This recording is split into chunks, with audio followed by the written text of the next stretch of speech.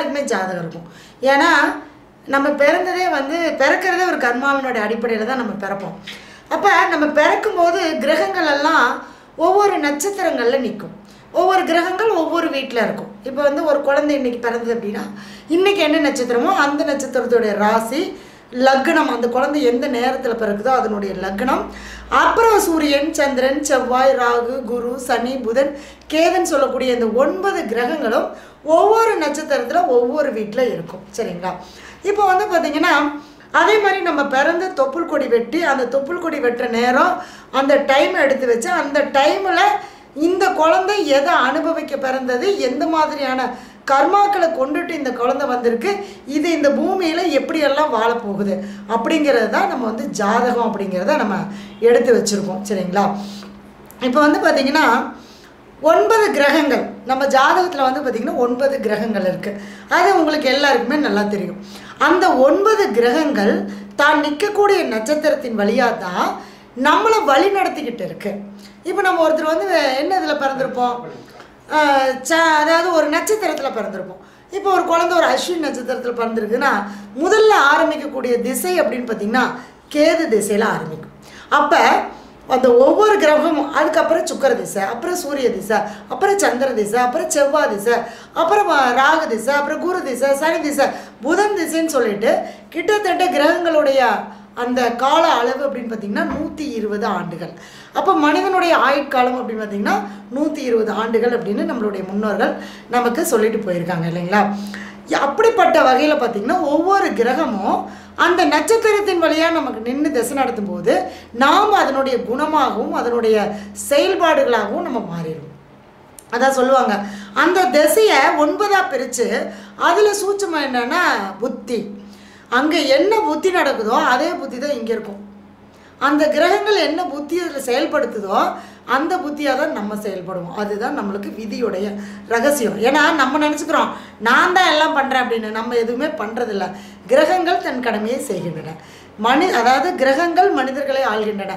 மனிதர்கள் ஒருபோதும் கிரகங்களை ஆளவே முடியாது. சரிங்களா?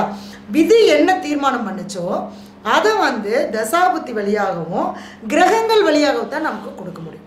அப்போ ஒன்பது கிரகங்கள் நம்ம பார்க்குறோம் இல்லையா? அப்போ அந்த ஒன்பது கிரகங்கள் அப்படிங்கிறது என்னென்ன? அப்படிங்கிறத நம்ம ஃபஸ்ட்டு நம்ம எழுதிடுவோம் அந்த கிரகத்துக்கு உண்டான முதல்ல உறவுகளை நம்ம பார்ப்போம். ஏன்னா அந்த காலத்தில் பார்த்திங்கன்னா நமக்கு உறவுகள் வந்து வீடு முழுக்க இருந்தாங்க. தாத்தா பாட்டி சித்தப்பா பெரியப்பா மாமா அத்தை அப்படின்னு சொல்லிட்டு உறவுகள் கூட்டமாக இருந்தாங்க. அதனால் வந்து நமக்கு அந்த பெரிய அளவுக்கு நமக்கு ஜாதகமோ இது ஒரு நம்பிக்கையோ அந்த இதுவோ அதிர்ஷ்டம் இது மாதிரியான விஷயங்கள்லாம் நமக்கு அப்போ இல்லை. ஏன்னா ஒரு பிரச்சனை வந்தால் தாத்தா பார்த்துக்குவார் அப்பா பார்த்துக்குவார் மாமா பார்த்துக்குவார் சித்தப்பா பார்த்துக்குவார் அத்தை பார்த்துக்குவாங்கங்கிற அந்த எண்ணங்கள் நம்மளுடைய மனசில் இருந்துக்கிட்டே இருந்தது. இப்போ காலப்போக்கில் அதாவது முதல்ல அந்த காலத்தில் பார்த்திங்கன்னா ஒரு எட்டு குழந்தை ஒம்பது குழந்தை பத்து குழந்தை டஜன் கணக்கில் குழந்தைங்க பிறந்திருக்கும். அப்போ அந்த உறவுகள் எல்லாம் ஒரு கூட்டமாக இருந்து ஒருத்தருக்கு ஒரு பிரச்சனைனா ஒருத்தர் கை தூக்கி விட்ருவாங்க ஆனால் இன்றைக்கி கால சூழ்நிலையின் காரணமாக ரெண்டு பேர் இப்போல்லாம் ஒருத்தர் இப்போ நம்மளே ரெண்டு பேர் நமக்கு எதுக்கு இன்னொருத்தர்னு சொல்லி அந்த குழந்தைன்னு சொல்லக்கூடிய அந்த விஷயங்களை நம்ம கட் பண்ணிகிட்டே வர வர இந்த ஜென்ரேஷன் என்ன ஆயிடுச்சுன்னா குறுகி குறுகி குறுகி குறுகி இப்போ நமக்கு உறவுகளே இல்லாமல் போயிடுச்சு அப்படியே உறவுகள் இருந்தால் நம்ம என்ன பண்ணுறது இல்லைங்க? அந்த உறவுகளுக்கு மரியாதை கொடுக்கறது அப்போ அந்த உறவுகளை நம்ம வந்து மறந்துட்டோம். அந்த உறவுகளை நம்ம மறந்ததுனால தான் இப்போ ஜாதகத்தில் கிரகங்களை பிடிச்சிட்டு இருக்கோம் எனக்கு சூரியன் சரியில்லை எனக்கு சந்திரன் சரியில்லை வரையிலேயே ஜாதகம் தூக்கிட்டு வந்துடுறாங்க. எனக்கு எந்த கிரகமும் சரியில்லை நான் பிறந்ததே வெஸ்டாட் இருக்குன்னு அதெல்லாம் கிடையவே கிடையாது. ஏன்னா ஒவ்வொரு கிரகமும் ஒவ்வொரு உறவு. அப்போ நம்ம ஒவ்வொரு உறவாக இழந்து இழந்து இன்னைக்கு கிரகங்களை பிடிச்சிட்டு எந்த கிரகத்துக்கு நம்ம கோயிலுக்கு போனால் சரியாகுமோ அப்படிங்கிற எண்ணத்தில் நம்ம வந்து வாழ ஆரம்பிச்சிட்டோம். சரிங்களா? அப்போ இது என்னென்னா இந்த ஜென்ரேஷன் கேப் தலைமுறை இடைவெளி. அப்போ இந்த தலைமுறை வந்து நம்ம மீண்டும் புதுப்பிக்கணும். அப்போ புதுப்பிக்கும் போது என்னென்னா இன்றைய காலகட்டம் நமக்கு வந்து எல்லாமே ஃபாஸ்ட்டாக ஃபாஸ்ட்டாக போயிட்டோம். ஆனாலும் இந்த உறவுகள்னா என்ன? இந்த உறவுகள் எப்படி கிரகங்களாக நம்மளுடைய ஜாதகத்தில் செயல்படுது? ஏன் நமக்கு அந்த ஒவ்வொரு கிரகமும் பாதிக்கப்பட்டிருக்கு? என்ன மாதிரியான சாபங்கள் என்ன மாதிரியான நம்ம முன்னன் முன் ஜென்மத்தில் நம்ம கர்மா செஞ்சுருந்தா நம்மளுடைய ஜாதகத்தில் இந்த கிரகம் பாதிக்கப்பட்டிருக்கும். அந்த கிரகம் பாதிக்கப்பட்டிருந்தால் நமக்கு என்ன மாதிரியான பலன்கள் நடக்கும் அப்படிங்கிறத நம்ம இன்னைக்கு இந்த லைவில் பார்க்க போகிறோம் சரிங்களா? புதுசாக பார்க்கக்கூடியவங்க சப்ஸ்கிரைப் பண்ணிக்கோங்க சேனலை உங்களுடைய நண்பர்களுக்கு ஷேர் பண்ணுங்கள் லைக் பண்ணுங்கள் முடிஞ்சால் ஒரு முறை ஒரு லைக் போட்டுருங்க. சரிங்களா? என்னதான் நம்மளுடைய ஜாதகத்தில் ஏன் நமக்கு வந்து சில பாதிப்புகள் இருக்குது ஏன் அந்தந்த காலகட்டம் மட்டும் நமக்கு பாதிக்குது? இப்போ நம்ம பிறந்தோன்னா ஒரு குழந்தைக்கு வந்து சூரியன் சரியில்லை சூரியன் ஜாதகத்தில் அவருடைய ஜாதகத்தில் பாதிக்கப்பட்டிருந்தா பிறந்தோடனே அப்பா வந்து திட்ட மாட்டார் அப்பா வந்து அரவணைக்காமல் போக மாட்டார். அப்பா சொத்து கொடுக்க மாட்டேன்னு நினைக்க மாட்டார். ஆனால் அவர் பிறந்தோன்னே அந்த குழந்தைக்கு எல்லாமே அப்பா மூலியமாக தான் கிடைக்கும். அவர் வளர்ந்து அவருடைய கர்மாவை அந்த திசாபுத்தி வரும்போது அவங்க அப்பாவே எதிரியாயிருவார் இந்த கு- இவன் வந்து எனக்கு ஆகவே ஆகாது. இவனை முதல்ல வந்து நம்ம வீட்டை விட்டு அனுப்பணும். இல்லை இவன் வேண்டவே வேண்டாம். அப்படிங்கிற மனநிலைமைக்கு அந்த தகப்பனார் போயிடுவார் அப்போ ஏன் அப்படின்றப்ப நம்மளுடைய முற்பிறவியில் நம்ம செய்த கர்ம வினையின் பலனாக இப்பிறவியில் ஒரு தாய் தந்தைக்கு நம்ம மகனாவோ அல்லது மகளாகவோ பிறந்து அந்த கர்மாவை அந்த தசாபுத்தி வரும்போது அந்த உறவுகள் மூலியமாக நமக்கு அந்த வழிகளையும் வருத்தங்களையும் கொடுக்கும். இதுதான் வந்து நம்மளுடைய ஜாதகத்தில் கிரகங்கள் சொல்லும் விதியின் ரகசியம். அந்த விதியின் ரகசியத்தை வந்து நம்ம வந்து தெரிஞ்சுக்க போகிறோம் இன்னைக்கு சரிங்களா? அதான் ஜோதிட ரகசியங்கள் அப்படின்னு ஒரு பேர் வச்சிருக்காரு. நம்ம சேனலுக்கு. இன்னும் நிறைய ரகசியங்கள் சொல்கிறது நிறையா இருக்குமா என்னமோ? கண்டிப்பா. ஓகே இப்போ இந்த சுக்கிரன் அப்படின்னாலே நமக்கு என்ன சொல்லுவோம்? சுக்கிரனால மனைவி பெண்கள். சந்திரனாலும் பெண்கள் தான். பெண்கள் அவங்க வந்து மூத்த பெண்கள். தாய் மாதிரி இருக்கக்கூடிய பெண்கள். இவங்க வந்து என்னென்னா நமக்கு சம வயசில் இருக்கக்கூடிய பெண்கள். மனைவி. ஒன் ஃபைவ் ஜீரோ சிக்ஸ் அடுத்தது கையில் இருக்கக்கூடிய பணம். குரு வந்து பெரிய பணம். சுக்கரன் வந்து சின்ன பணம். சின்ன பணம் என்னங்க? பத்தாயிரம் இருபதாயிரம் பத்து ரூபா இருபது ரூபா. ஏன்னா இப்போ பத்து ரூபா இருபது ரூபா இல்லை. அதுதான் பெரிய விஷயம். இப்போ எல்லாமே ஐநூறு ஆயிரத்துக்கு வந்துட்டோம். அப்போல்லாம் வந்து ஒரு ரூபா ரெண்டு ரூபா இருந்தது. அஞ்சு ரூபா பத்து ரூபா பெரிய பணமாக இருந்துச்சு. ஐம்பது ரூபா நூறுரூவா நோட்டெல்லாம் பெருசாக இருந்தது. நான் பார்த்த காலத்துலேயே. இப்போல்லாம் வந்து ஐநூறு ஆயிரங்கிறது சாதாரண போச்சு அப்போ இந்த பத்தாயிரம் இருபதாயிரம் எல்லாம் சின்ன பணம். லேக்ஸ் குரோர் இது குரு பெரிய பணம் சரி.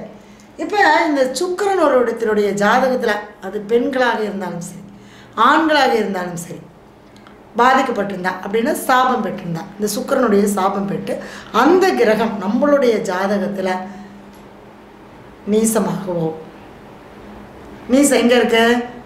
கண்ணியில் நீசமாகிறார் அல்லது சுக்கரன் சூரியனோடு அஸ்தங்கமாக இருந்தாலோ அல்லது சுக்கிரன் பகை வீட்டில் இருந்தாலோ அல்லது சூரியன் பகை சுக்கிரன் பகை நட்சத்திரத்தில் இருந்தாலோ திதிசூனியமாக இருந்தாலோ முடக்காக இருந்தாலோ கர்ம நட்சத்திரத்தில் பிறந்திருந்தாலோ? சுக்கிரனுடைய சாபம் நமக்கு இருக்குன்னு எடுத்துக்கலாம். இந்த சுக்கிரனுடைய சாபம் பெற்றால் என்னெல்லாம் நடக்கும்? சுக்கிரன் சாபம் பெற்றால் கல்யாணம் முதல்ல லேட்டாகும்.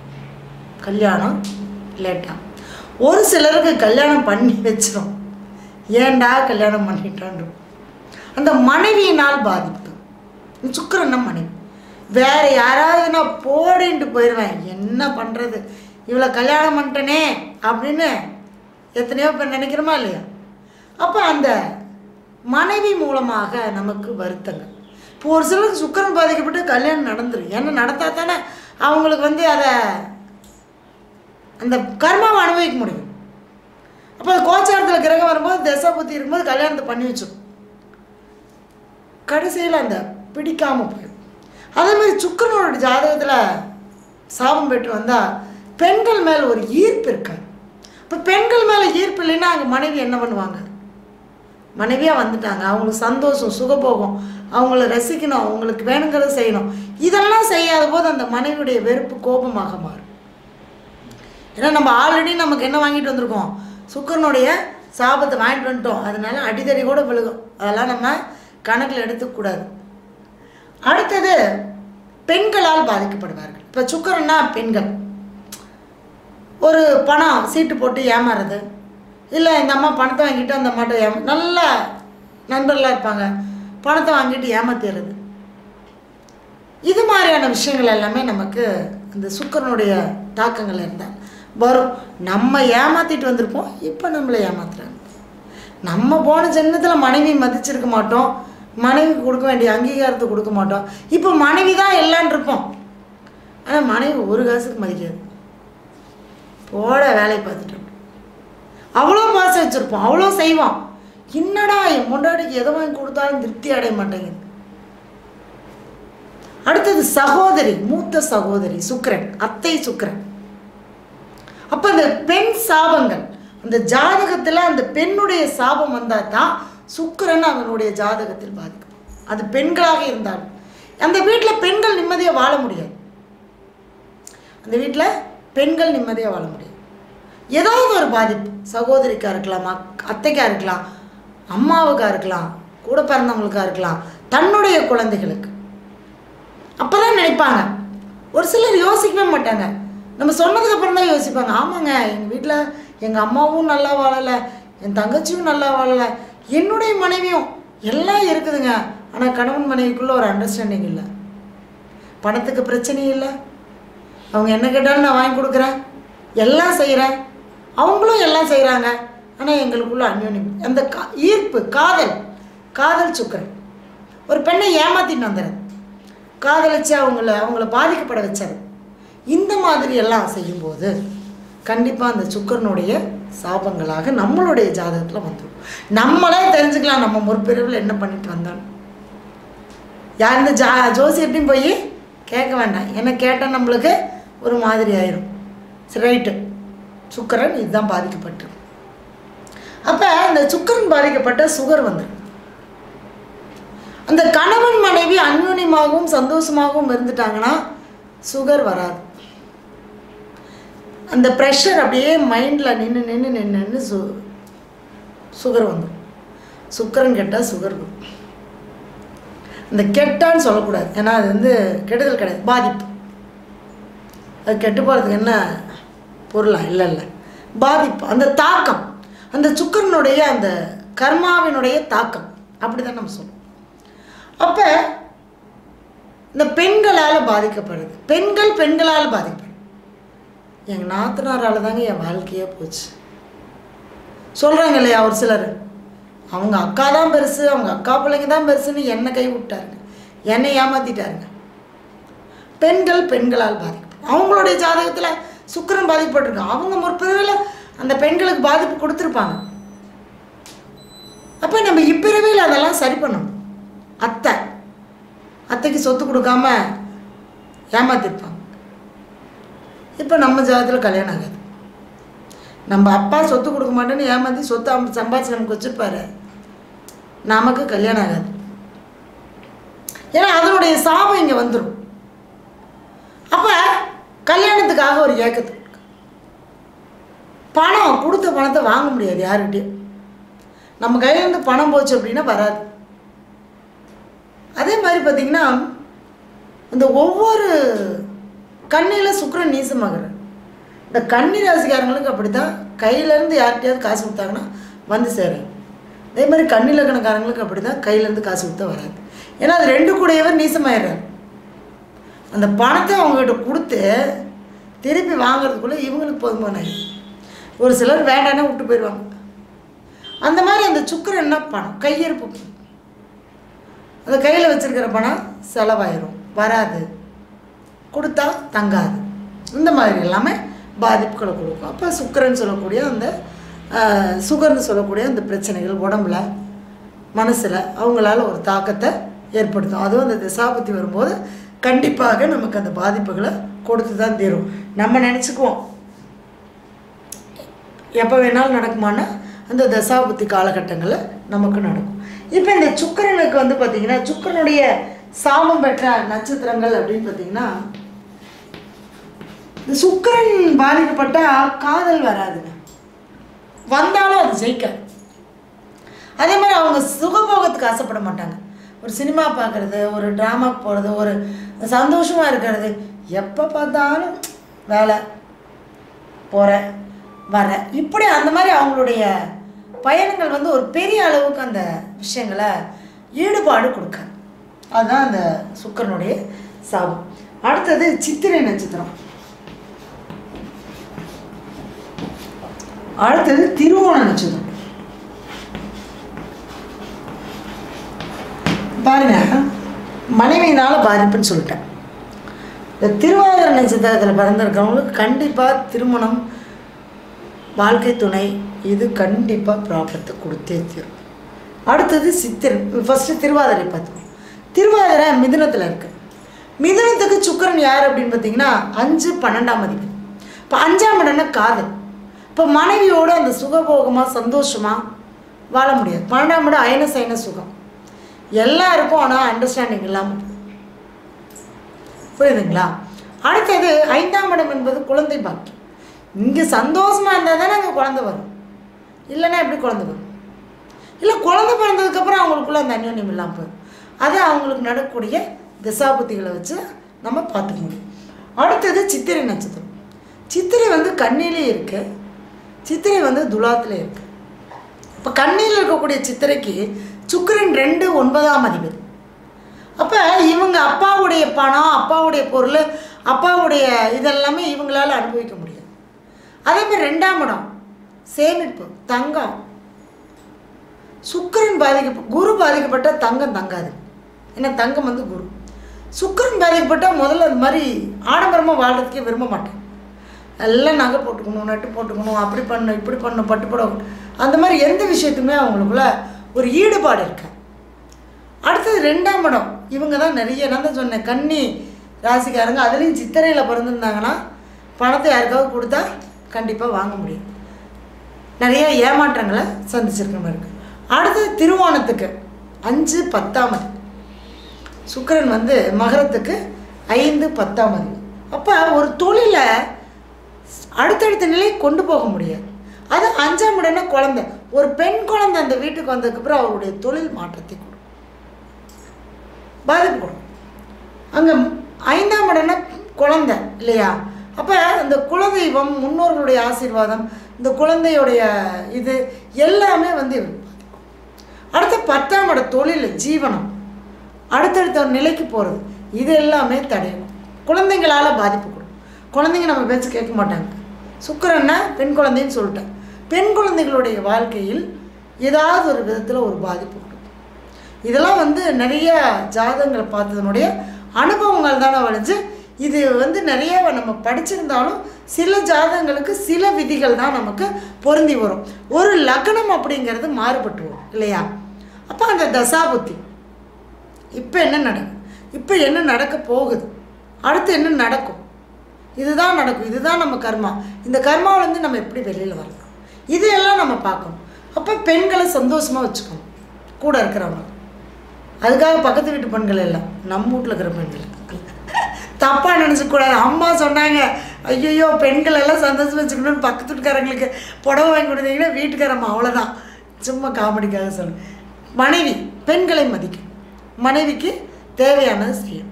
அவங்கள தப்பில்லை மனைவி காலில் விழுந்தால் தப்பில்லை. நான் தான் சொல்லுவேன். நீங்கள் சொல்லுவீங்க மேடம் எங்களுக்கு தானே தெரியும் எங்களோட வழி அப்படின்னு ஆண்களெல்லாம் சொல்லக்கூடாது. ஏன்னா நம்ம சாபம் வாங்கிட்டு வந்துட்டோம். உங்களுக்கு நான் நல்லது தான் சொல்கிறேன்ப்பா நீங்கள் என்ன தப்பாக நினைக்க வேண்டாம். சரியா? யார் காலில் நம்ம மனைவி தானே. நம்மளோட நம்மளுடைய உடம்புல பாதியாக இருக்கக்கூடியவங்க தானே. அவங்களோட நம்ம சுவாமியே பாதியை கொடுத்துருக்காரு. நம்ம கொடுக்கறதுக்கு என்ன? இல்லையா? எது- அர்த்தநாரீஸ்வரர் தன்னுடைய உடம்புல இடது பாகத்தை அம்பாளுக்கு கொடுத்துருக்காரு இல்லையா? அந்த மாதிரி நம்மளுடைய மனைவி. அவங்கள நம்ம நேசிக்கணும். அவங்கள அவங்க என்ன நம்ம கஷ்டப்படுத்தினாலும். ஏன்னா அவங்க கஷ்டப்படுத்துறதுங்கிறது நம்மளுடைய கர்மா தீருதுன்னு அர்த்தம். அப்போ அவங்களுக்கு நம்ம செஞ்சுட்டே வரணும். சகோதரி மூத்த சகோதரி அடுத்தது அத்தை.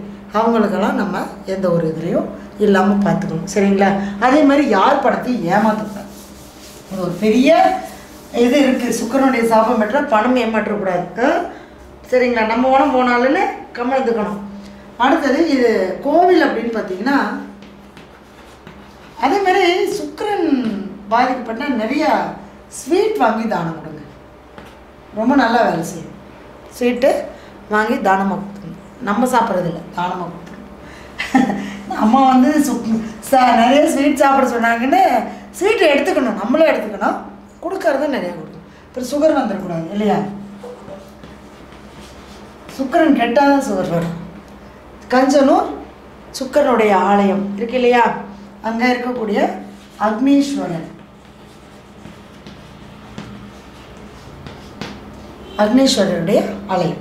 அங்கே இருக்கக்கூடிய சுக்கர பகவானுக்கு சாபம் நிவர்த்தியான ஸ்தலம். சரிங்களா? கஞ்சனூர் கும்பகோணத்தில் இருக்குது அடுத்தது கும்பகோணத்திலே திருவிசைநல்லூர்.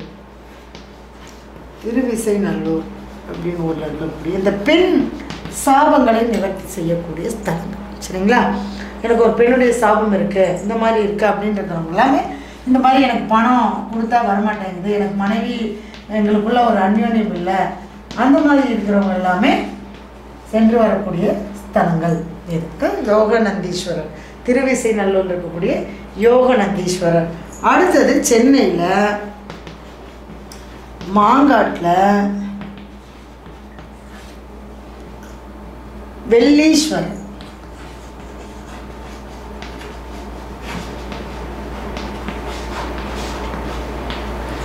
இந்த ஆலயங்களுக்கு நம்ம போய் வழிபாடு பண்ணிட்டு வரலாம்.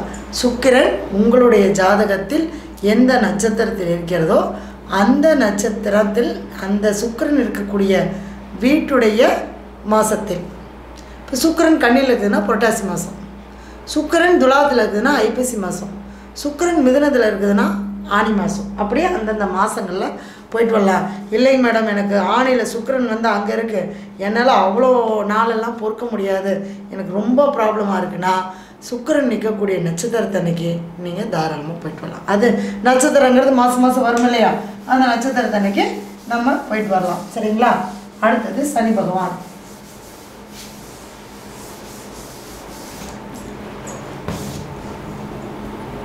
சார் ஆ